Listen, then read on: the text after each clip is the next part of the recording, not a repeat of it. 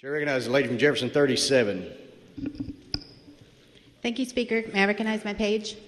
Yes, ma'am. Miss Jackson Dorsey is with us today. She is in fifth grade at Blake Elementary. She likes soccer, and she has my heart because she does safety patrol. And I don't know if you all remember safety patrol from fifth grade, but you were often not the favorite if you were safety patrol in the hallway. I think it's gotten a little better than when I was there, but I appreciate her service as a safety patrol officer. Um, and her her likes are soccer and crochet, and those are two of mine too. So I appreciate your time today and letting me get to know you. And if we could just make her feel welcome.